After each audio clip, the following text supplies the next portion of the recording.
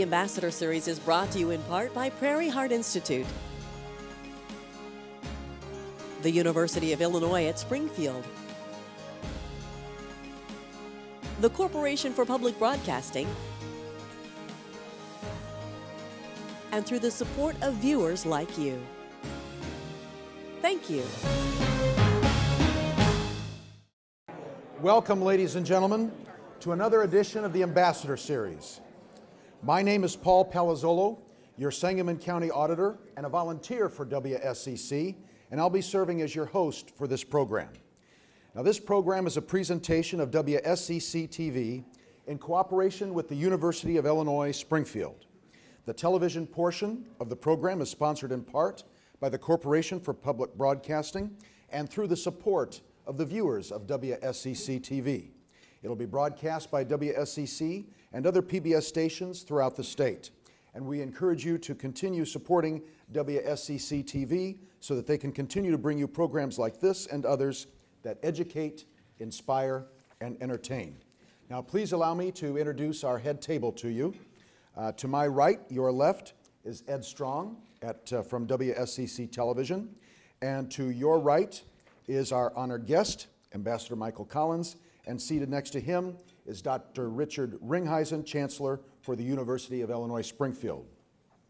With appreciation for a sponsorship gift from Roland Machinery, we also have students from Rochester High School and their teacher, Melinda Bilyeu. And let's give the students from Rochester High School a round of applause for their being here.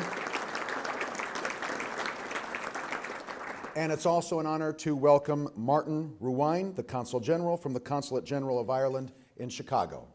Welcome, sir.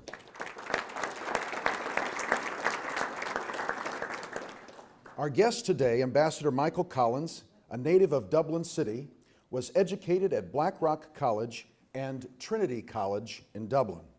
He joined the Department of Foreign Affairs in 1974, and his early diplomatic postings brought him to Rome, Italy, and New York. He has served as Ireland's ambassador to Saudi Arabia and also as ambassador to the Czech Republic and Ukraine.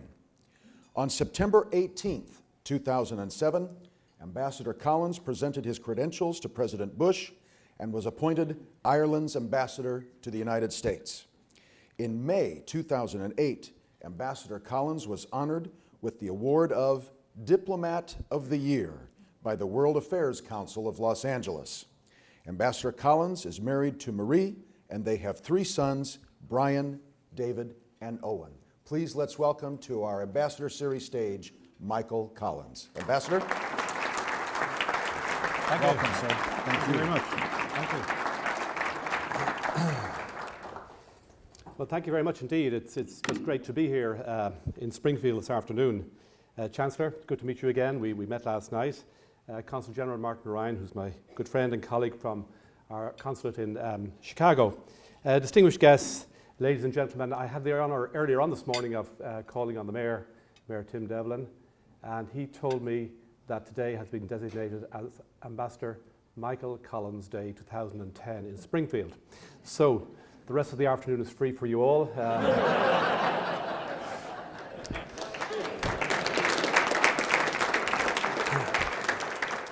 But no, it's, it's great to be here and it's wonderful to get out of Washington. And I commend uh, everybody involved in the organization of this wonderful series the university, the television station, um, the WSEC.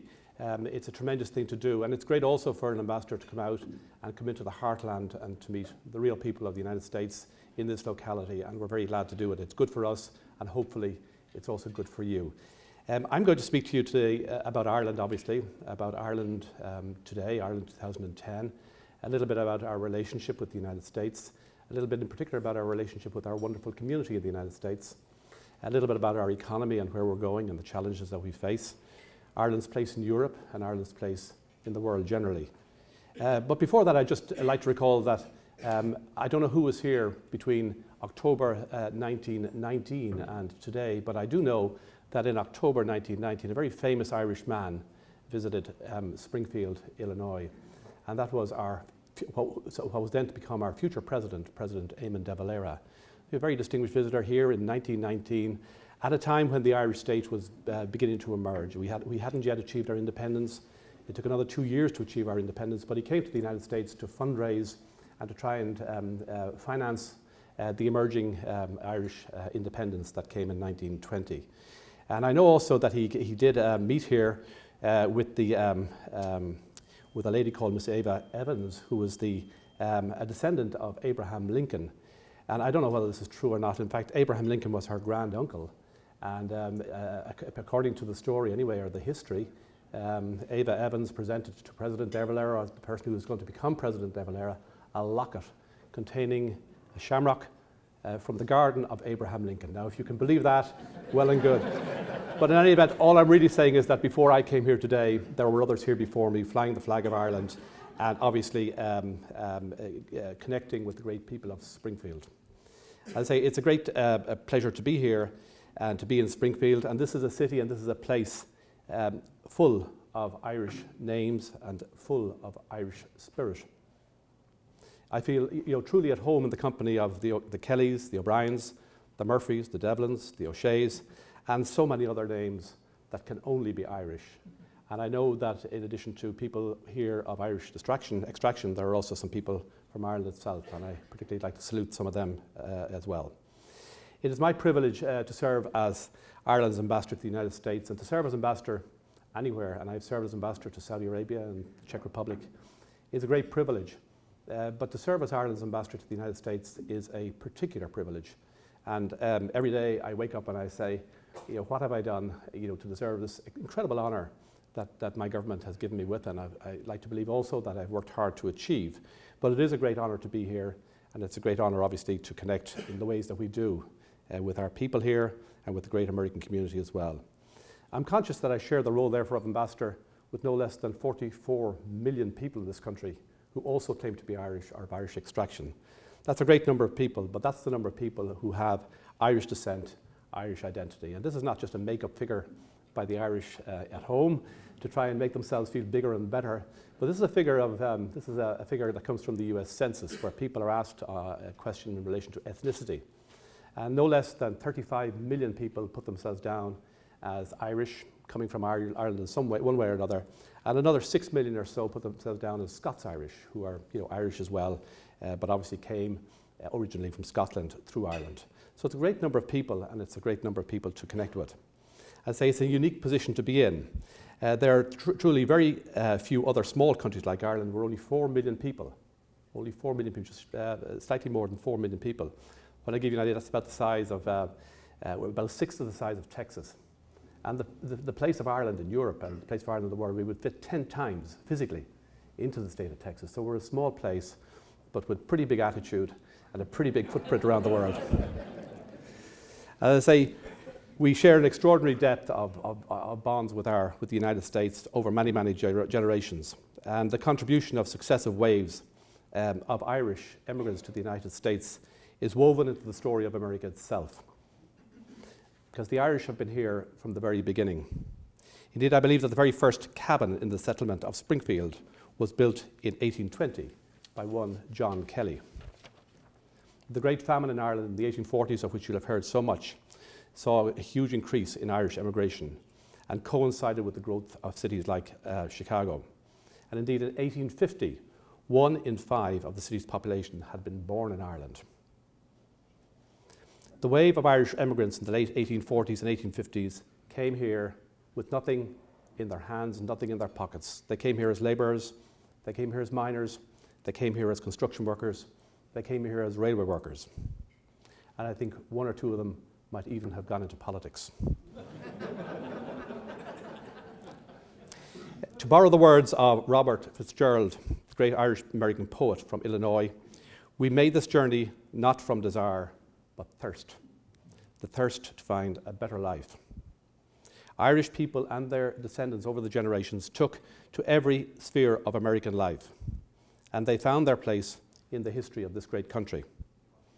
From the signing of the Declaration of Independence, to the Civil War, to the boardrooms, the sports fields, the police stations and the fire stations, the schoolrooms and the research labs of the present day, you will find the Irish the sons and daughters of miners and construction workers lived the American dream. So today, in every corner of America, and I've traveled to every corner of America, but in every corner of America, there is Irish America, proud, successful, and resilient. The extraordinary phenomenon that is Irish America lies at the heart of the relationship that Ireland enjoys with the United States. It is not a connection based on strategic foreign policy or economic calculations. It is instead a living bond deeply felt by millions and millions of people. In this home of Abraham Lincoln, I'm reminded of something he once said in a letter to one Joseph Gillespie in July 1849. He said that the better part of one's life consists of friendships. And let me say that Ireland and America enjoy a unique friendship, and we work very hard day and daily to keep it like that. For Ireland, Irish America is a resource and a connection of incalculable importance and significance. And we know also how important it is for us to protect and to nurture this connection in every way that we can. That is why the government in Ireland asked me to undertake recently a strategic review of this relationship, which was a very timely thing to do. Because I can say to you that over many decades, the relationship with Ireland, between Ireland and the United States, was driven in large measure by the concerns that we had over the situation in Ireland, and particularly in Northern Ireland, and the ongoing troubles that we had there. And thankfully, with peace having been achieved in Ireland, and I'll come to that again in a minute, we were in a position maybe to better reflect on what we should now be doing uh, to connect with the United States, to connect with our community here, and to have a new sense of purpose and a new sense of relevance. So I undertook this review entitled Ireland and America Challenges and Opportunities in a New Context. And that new context is indeed peace in Ireland. And this confirmed the very special characteristics of our unique relationship and the efforts that need to be undertaken to keep it fresh and vibrant in these changed times. And that is why also the Irish uh, government um, convened a very special event in Ireland last September called the Global Irish Economic Forum to reach out in new and exciting ways to the global Irish family. Because if we say, as we do, that there are 40 million people in this country with an Irish connection, we know that there are globally 70 million people with Irish connections. This is an incredible resource, and we are looking for new and better ways of being connected with them and connecting them with us.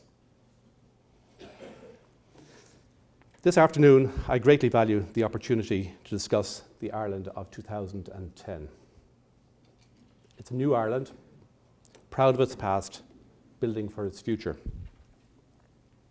I would like to reflect on a few things that shape Ireland's perspective in these times our economy, our own experience of conflict and peace, Ireland's place in Europe, and as I say, our very special connection with the United States.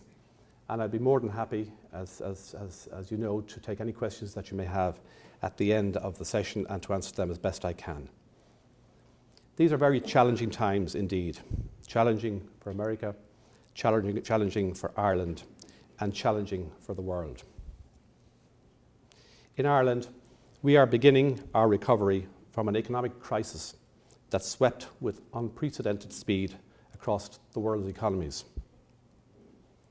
Ireland, having, exper having experienced a long period of economic growth, very strong economic growth, which transformed our country and transformed our economy, was hit hard by the global crisis. Like some parts of the United States, in the last few years we've had a significant part of our economy built up around property and construction. This sector was particularly affected in the downturn that simultaneously hit our exports our tourism sector, and of course our financial sector. Also, while our membership of the euro currency area, because Ireland uses the euro currency, brings strong monetary stability, its very strength makes it harder for our exports, particularly in the UK and in the US. I'm going to talk to you a little bit about the bad news in Ireland before I get to the good news, as I will do, obviously. But in Ireland, Ireland's GDP, GDP gross domestic product, is estimated to have contracted by 7.5% in 2009 and is projected, projected to contract another 1.25% in 2010. Unemployment, which was previously at about 4.5%, will probably reach 13% this year. That's the bad news. It's certainly not good news, painful and very difficult. The good news is, we hope, that the end of the economic downturn is indeed in sight, in sight in Ireland, in sight in the United States, and in sight globally. We have taken very strong corrective steps to reboot our economy, which should see growth later in 2010 and even stronger results in 2011. The narrative for Ireland over the last decade, 15 years indeed, has been one of extraordinary growth, extraordinary resilience, extraordinary success, to such an extent that we were branded as the Celtic tiger. And indeed, we were a tiger economy. We were forging ahead in an extraordinary way. But as I say, coming towards the back of 2008, you know, with the world recession uh, reaching a crisis point, we, as I said earlier on, were particularly badly hit and we had to take very severe measures to correct uh, the imbalances in our economy. We've had to take special measures to get our spending uh, under control, including instituting sp serious spending cuts, including in the public sector. So when I hear in this country, you know, people talking about small wage increases or freezing wages, uh, in Ireland we have gone to the extent of actually cutting wages, almost uniquely so in Europe. Uh, in the public service alone, we've taken pay hits, uh, pay cuts, anything from 5% to 15% on top of 10% last year. So that's pretty severe, pretty serious, but it had to be done know, to correct, as I say, the imbalances in the public account. We have stabilised our domestic banking sector and have in initiated a plan to remove to toxic assets and loans from their books to allow them to resume borrowing. As I say, none of this is particularly unique to Ireland. But obviously, uh, we, like everyone else, have to take measures to make sure that we're poised for recovery, we're poised for growth when the world economy begins to grow strongly again. Our key investment clusters, and we have many, but of pharmaceuticals and medical devices and ICT, as well as a growing focus on clean tech, position us very well to take advantage of the global recovery. And as I say, we are seeing wage and prices adjusting to these new circumstances, ensuring that competitiveness in Ireland in these crucial sectors will be good in the future. In Ireland today, after a long, long history of emigration and economic difficulty in one form or another over the generations, we now have a new generation who know the benefits of economic growth and have a belief in Ireland's potential. They believe in Ireland, they have confidence in Ireland, and they believe that Ireland will recover strongly. And if I could just say to you, you know, while all the headlines tend to be negative, and a lot of the headlines out of Europe tend to bracket Ireland among the countries that are most challenged, I should just say to you that despite all the downturn, real living standards in Ireland remain high by international standards, much higher than they were a generation ago. In fact, Ireland's income per capita is expected to level off, despite all the downturn, at around 90 to 95% of the European average. This compares to some 65% of the European average in 1980.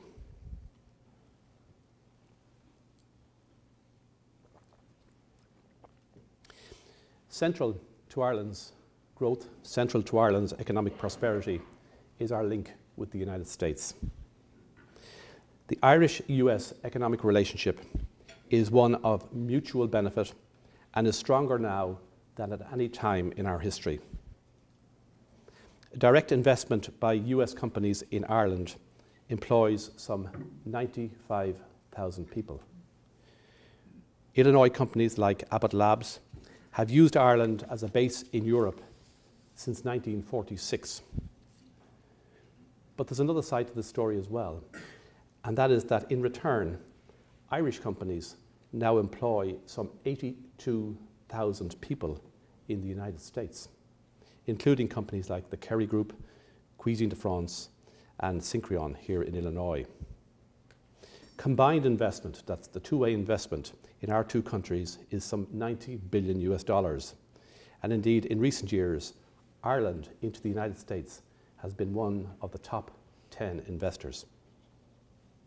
The United States is Ireland's second largest trading partner and our largest export market, with annual trade in goods and services between the two countries of something in the region of 70 billion US dollars.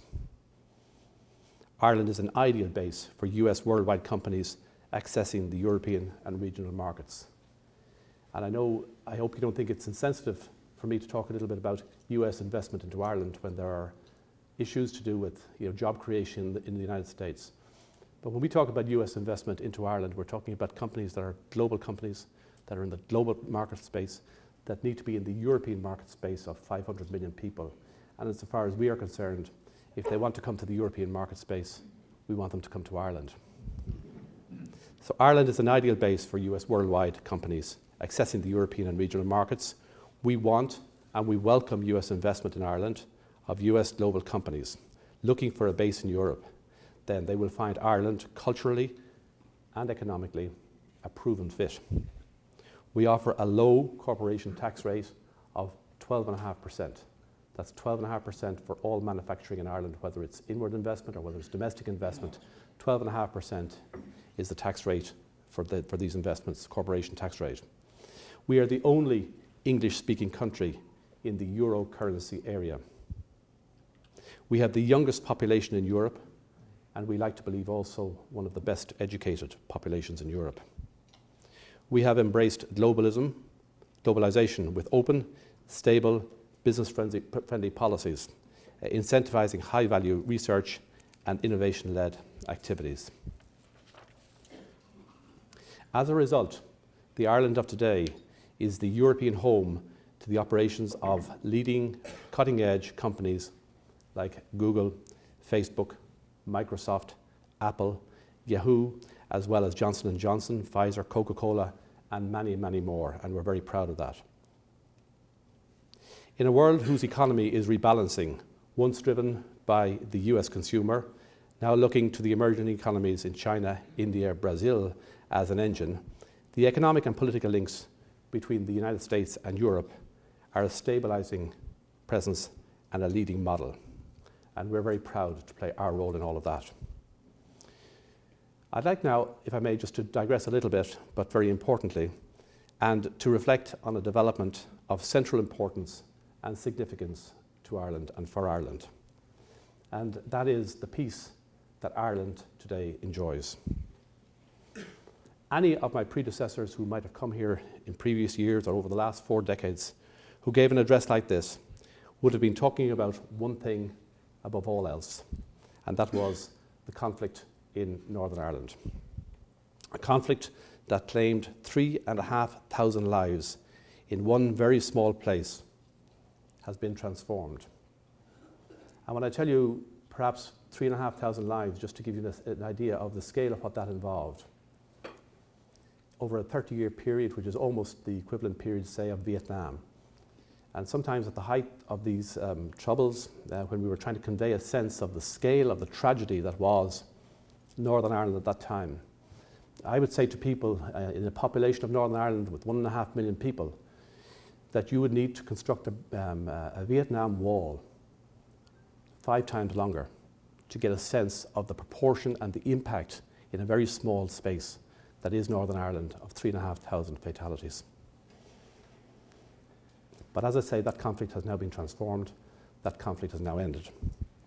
And remarkably, uh, because it's remarkable in the history of Ireland, Republican, Catholic, Protestant, loyalist paramilitary groups have ended their campaigns, and more particularly, they have decommissioned their weapons.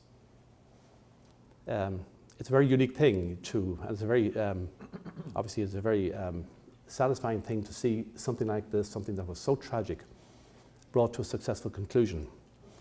Um, but bringing it to the point where people can have confidence that it has truly ended is another challenge yet again.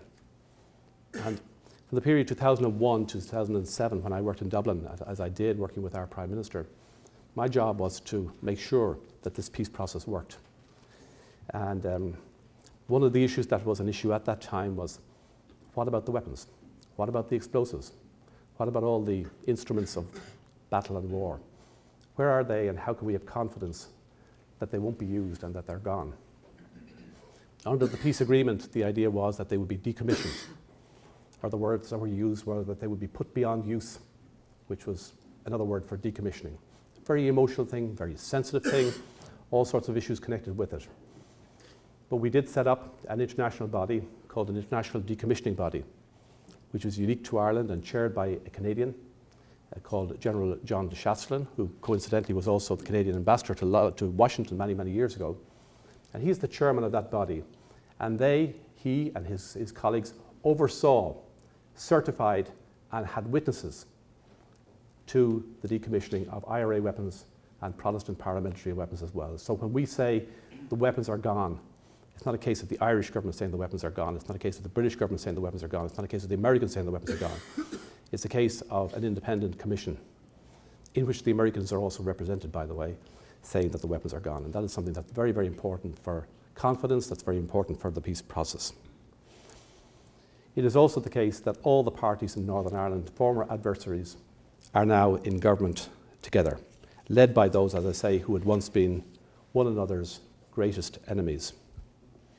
The governments of Ireland and Britain worked side by side, and that was also part of my responsibilities, working with the then Prime Minister of Ireland, then Taoiseach of Ireland, to work with British Prime Minister Tony Blair in particular, to work side by side with him and to have the two governments drive this process to completion. Uh, but it's our responsibility still to consolidate the gains that have been made and to continue to build a stable foundation for future generations to live in peace and prosperity in Ireland. This was a peace process built on dialogue, on inclusivity, on human rights, and fundamentally on democracy.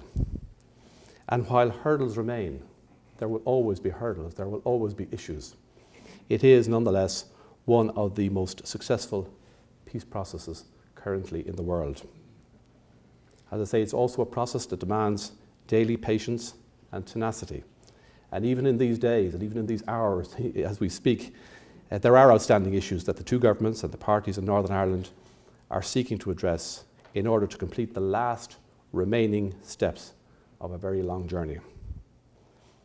At the heart of what is Northern Ireland today, at the heart of, peace, of the peace process, is the Good Friday Agreement of 1998.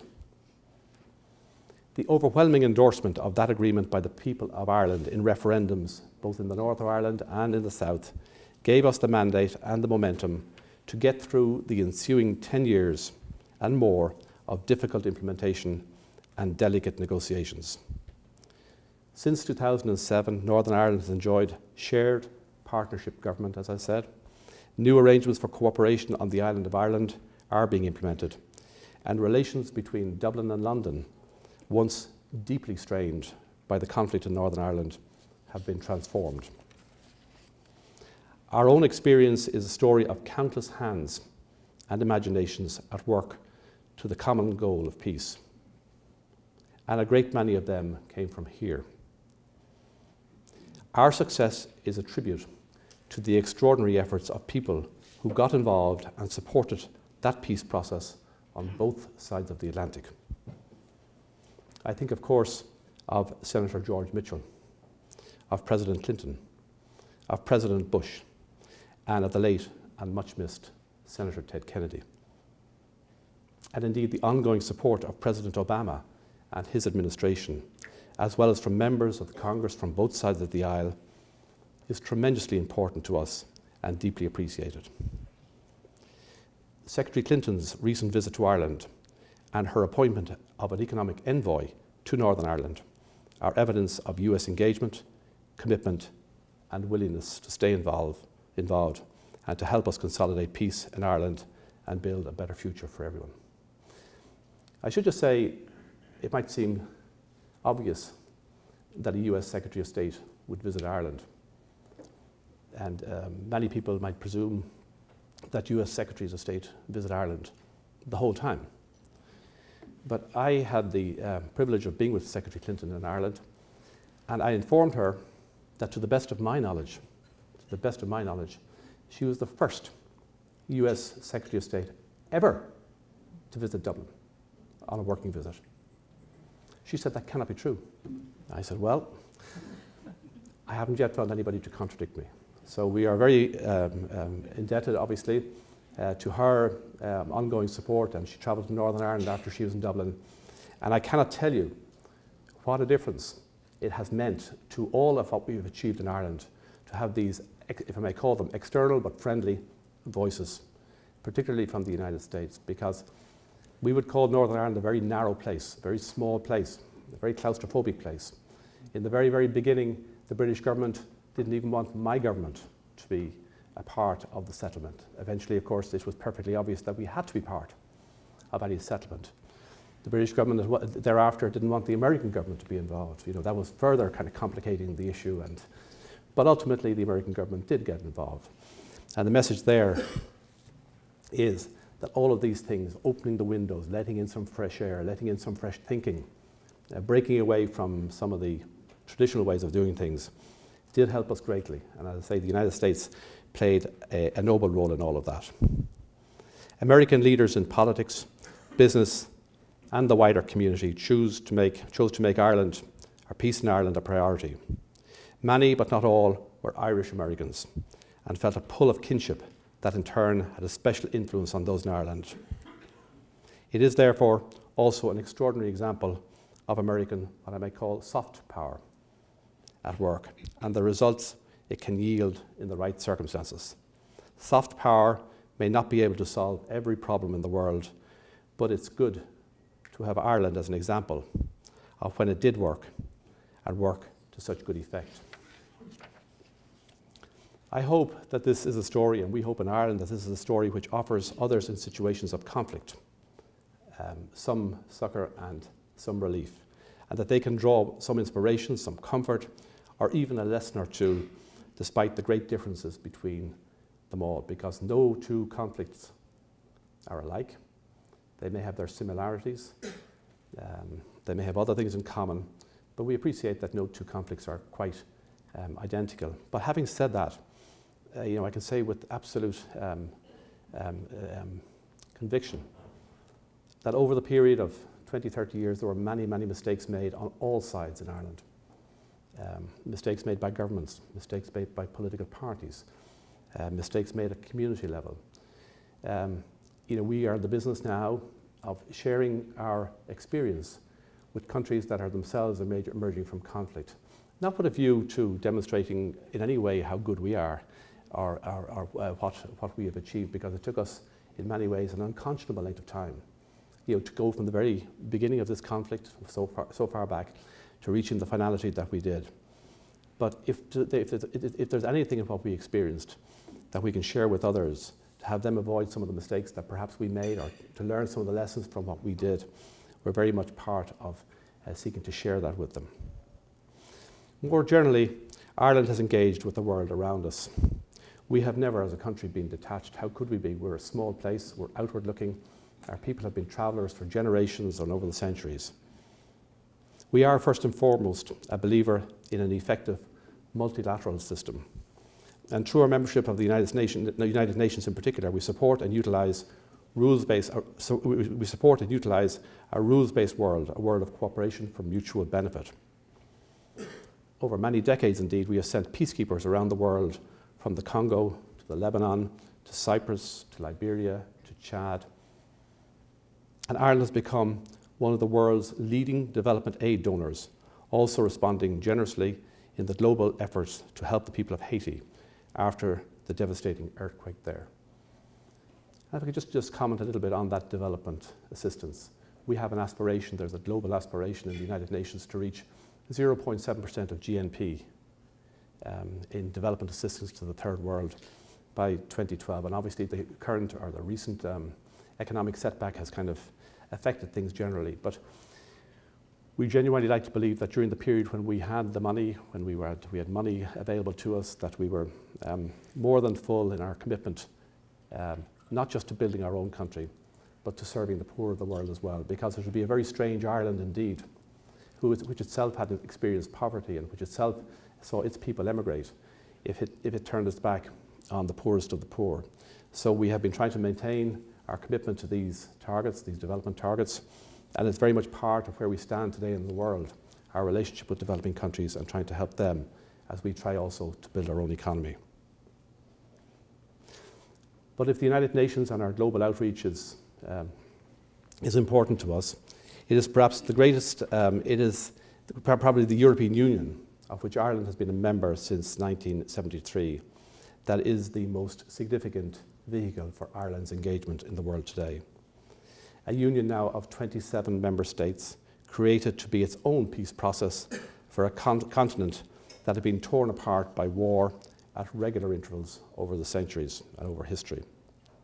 It has met its original goals so successfully peace through economic integration in Europe that it is now almost taken for granted.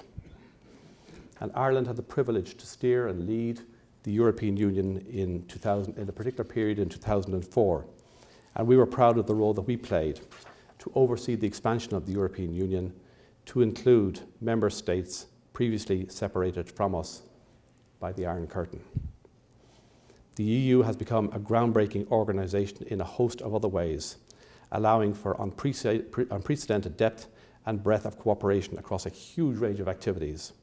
A single trading market of 500 million people, a single currency for many of its members, including Ireland, and free movement of people and business, a coordinated voice also in world affairs.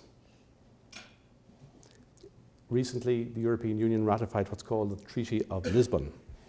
And this is a treaty which will allow the expanded European Union uh, a new set of rules to allow it to operate more effectively and more democratically in the global sphere. And Ireland is very, very proud to have played our part in the new Europe while losing, while not losing, of course, any of our distinctive voice, our culture, our, our own identity. And one of the great parts of that identity is our link with America and with Irish America. These strands that I've tried to describe our affinity with the United States, our place in Europe, are not in tension. They do not divide us, rather, they jointly expand our horizons and our potential. 30 years ago, Ireland knew terrible violent conflict on our island, as well as economic distress and emigration. And as I say, like many other countries, we are facing tough times. But the progress we have made in this generation is extraordinary and will not be erased. And as I say, the people of Ireland are in a better position today with a growing younger population, more skilled and more education on our side than they ever have been in the past. We have built a strong foundation of an expanded, diverse economy directed to innovation and the future. We have built a strong foundation of shared and peaceful future on the island of Ireland. And we have built and are determined to maintain strong links to the world through our long and still vibrant relationship with the United States and our active membership of the European community. And throughout all of this, we've enjoyed an upsurge in creativity and excellence across all of the art forms for which Ireland is so well known. Our culture, our dance, our music, our literature, our theatre are stronger than ever before and generated, generate huge positive international appeal, in particular in the United States. Indeed, when people think about Ireland today, or when they used to think about Ireland in the past, it was peace, it was conflict. The means by which most Americans think of Ireland today is probably through culture. Culture is the medium through which modern Ireland, more, more, now, more so now than ever before, connects with the outside world. So, peace in Ireland, an economy moving towards recovery and renewed growth, proudly Irish, but positioned at the very heart of Europe, and a relationship with America and its people that is strong and enduring. You know, that is Ireland's story in 2010. It's a story of which we're very proud, and it's a story and it's a course on which we've set for the succeeding years and the succeeding generations. Thank you very much indeed.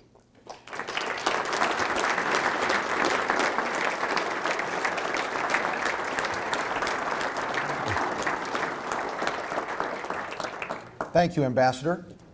One of the first questions from our participants today, and uh, with this question, I'm sure you, after you hear it, will know that you have a captive and inclined audience, both here and at home.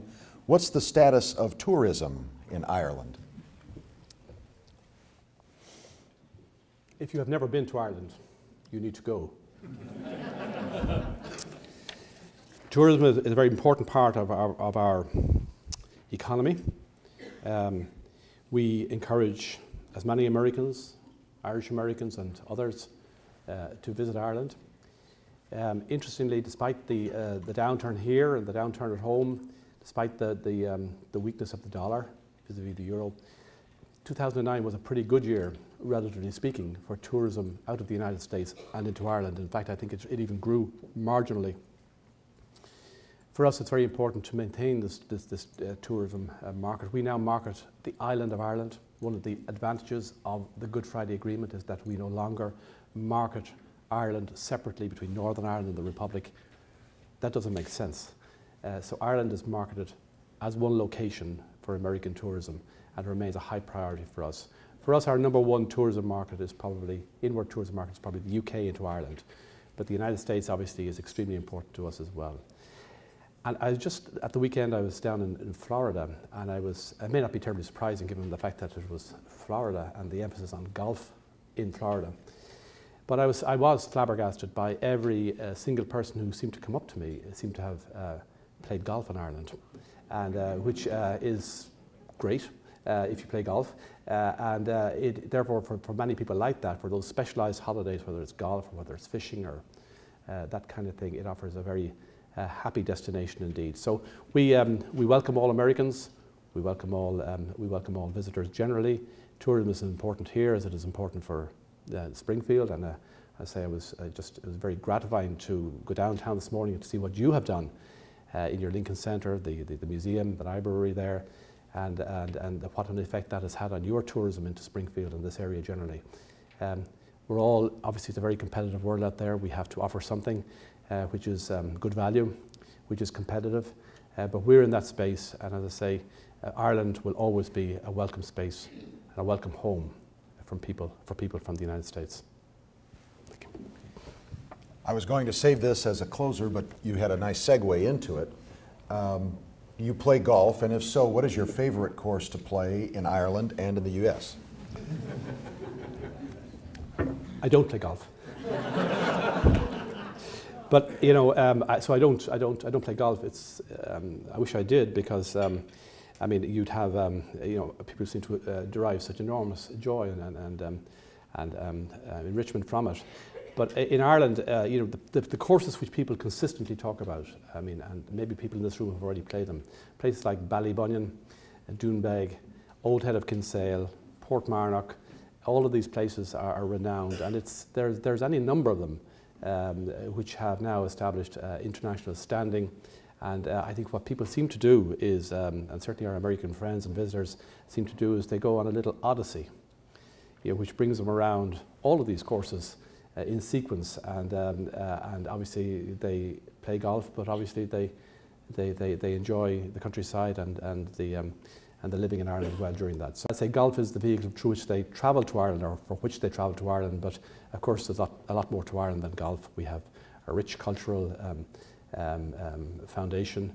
And I think it's, um, it's, it's, it's, it's, a very good location if people want to, as I say, um, come and have a relaxing time. Ambassador, has Ireland experienced a surge of immigration from other European countries? And if yes, how well have these folks been assimilated into the culture and economy?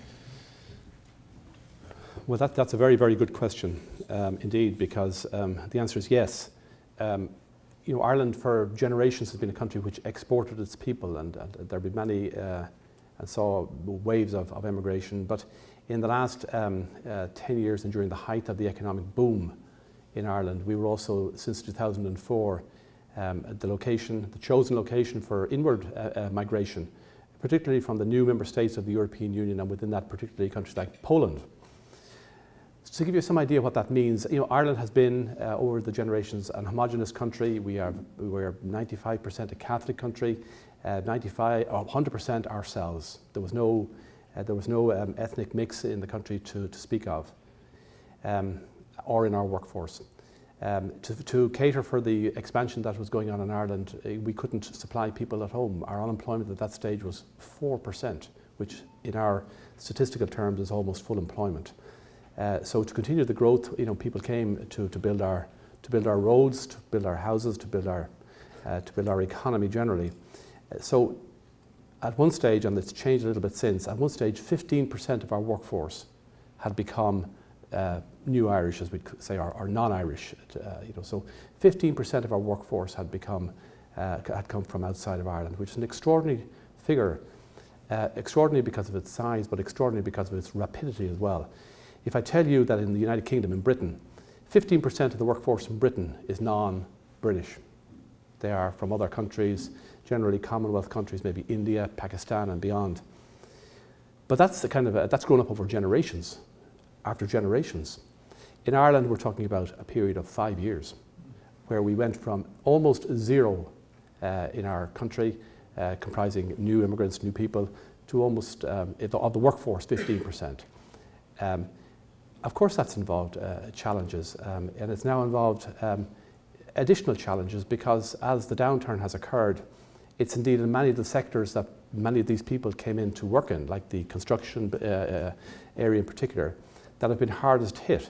So the question was and is, um, what, what, now? Do they leave? Because they're all, first of all, the key point to make, they're all legally in Ireland. They were legally entitled to be in Ireland. They are legally entitled to be in Ireland. They're insured workers from other member states of the European Union who are legally in Ireland as and from the 1st of May 2004. But the question was and is, uh, you know, do they remain in Ireland on welfare or do they take their chances elsewhere? You know, go back home, for example, back to Poland, for example, which is doing quite well.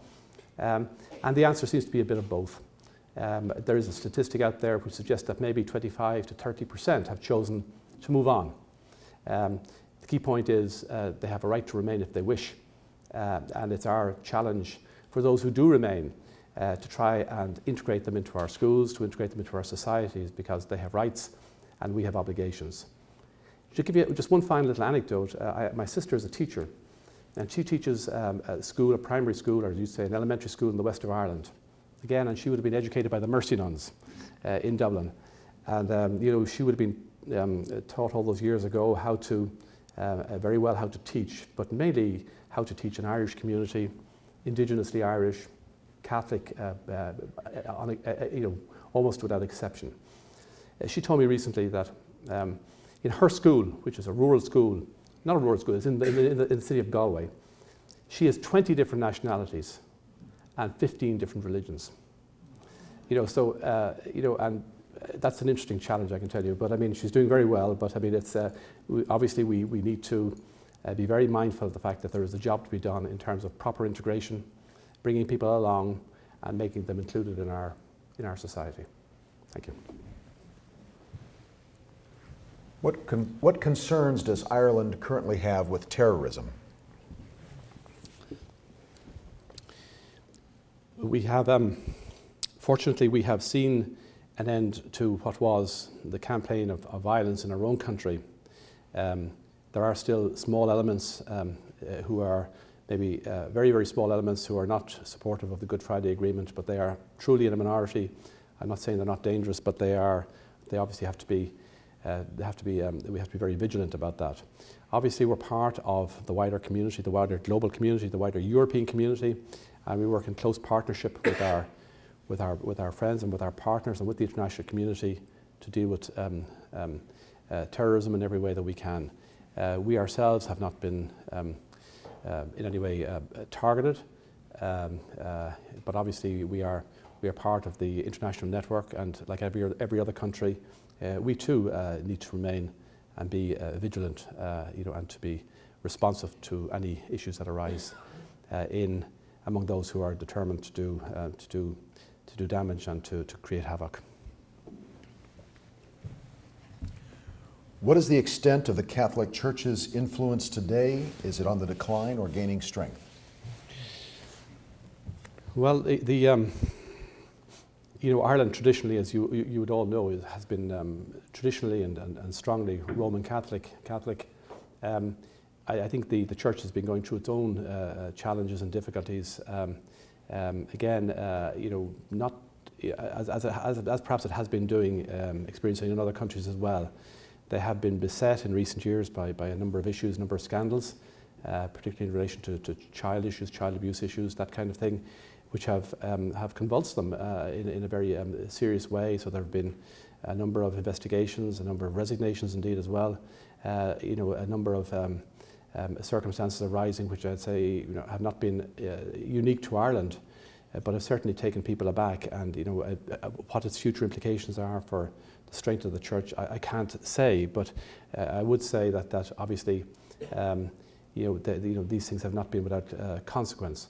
So, I mean, as Ireland has kind of gone forward in a kind of a, um, in, in, terms of development and growth, obviously, it does affect people's relationship at times with the, with the, the, the traditional ways in which they would have connected with religion, uh, whether in schools or whether in you know, going to church or whatever. But I mean, the, the religious, uh, to, to say, um, to, to make a, an important point, I mean, the religious and the religious communities in Ireland have played an extraordinarily uh, you know, positive role uh, you know, over many generations in the education of, of Irish people, in the hospitals uh, in particular, where they've run many, many very good hospitals.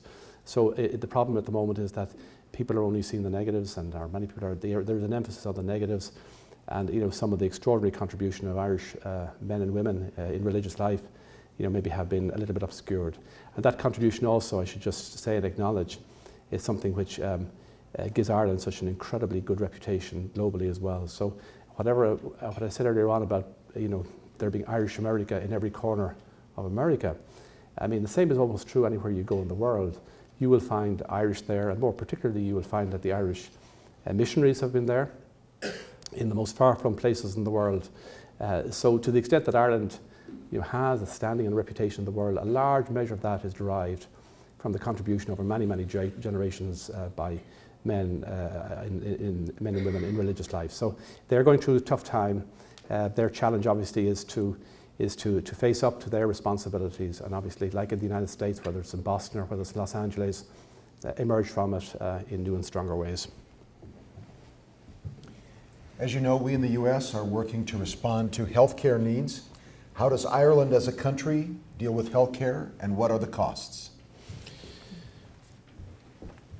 Do you know, um, before the onset of the, um, you know, the, the, global recession and all the issues that arise uh, within that and the challenges we had in managing all of that, um, I remember living in Dublin and every day it was an issue to do with healthcare. Every day, you know, when we had, you know, when, when these other big mega issues uh, before they came uh, honest, I mean, the issues were waiting lists in hospitals, people lying on trolleys, all that kind of thing. So, I mean, uh, ma managing a healthcare system, obviously we have a healthcare system which is more um, uh, which is more developed than yours in terms of uh, people's access to it, public access to it. Um, but it's not without its challenges. It's, it's obviously like, like, like here as well, there are major cost issues associated with it. I can't remember the actual figures as well, but the management of the health, healthcare system, the cost of the healthcare system, and making sure also that the healthcare system does what it's intended to do in terms of service to the people. Uh, they are challenges not just in the United States, but they are also, they've also been challenges for us. But in terms of, you know, we have a different, um, a different system, uh, but uh, you know, there's public access to it. Uh, nobody needs to be in Ireland without healthcare uh, available to them. Uh, but that, having said that, it, it, obviously has its own management and, and, and financial challenges, which are an issue not just for governments in Ireland or in the United States, but they seem to be kind of almost universal.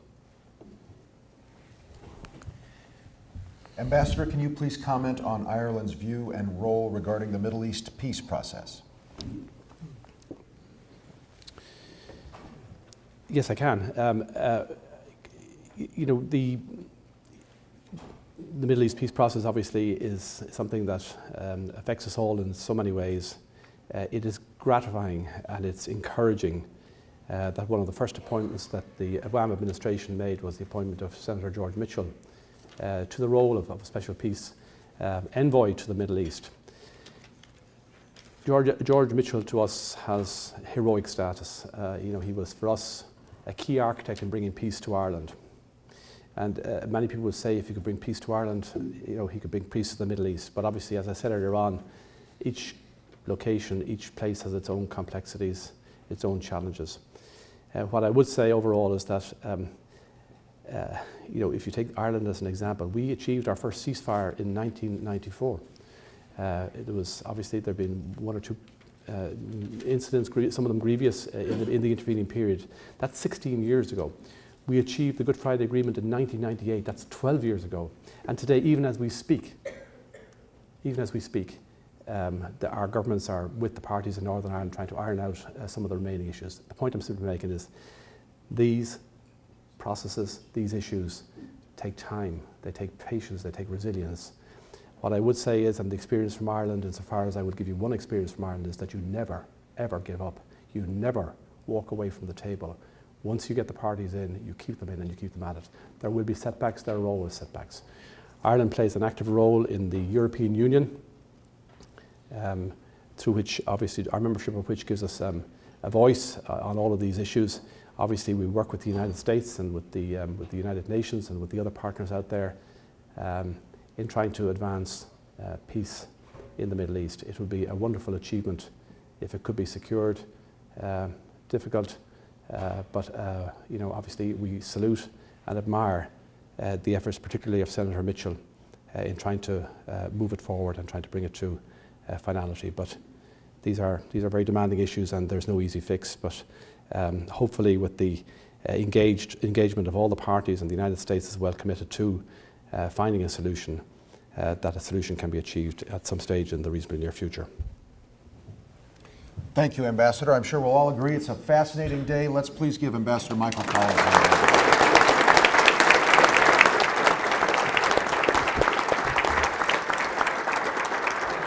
Okay. Thank you. Again for joining us for this edition of the Ambassador Series, and we look forward to your joining us again. Thank you.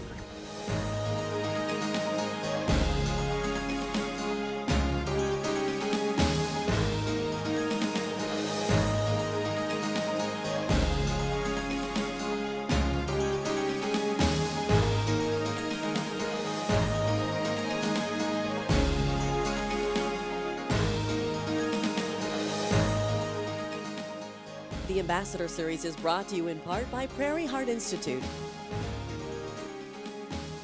the University of Illinois at Springfield, the Corporation for Public Broadcasting, and through the support of viewers like you. Thank you. For a DVD copy of this edition of the Ambassador Series, send $24.95 to Network Knowledge, P.O. Box 6248, Springfield, Illinois 62708. You may also order with your credit card by calling 800 232 3605. Be sure to include the program name, broadcast date, and topic.